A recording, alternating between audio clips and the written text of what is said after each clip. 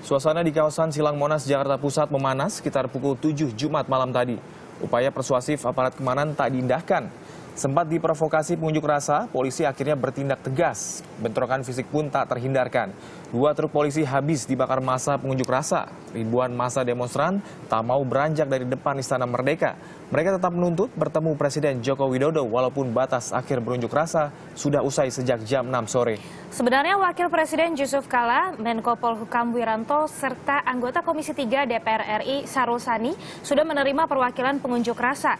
Wapres JK menegaskan proses hukum atas dugaan penistaan agama oleh Gubernur DKI Jakarta nonaktif Basuki Cahayapurnama sedang diproses hukum.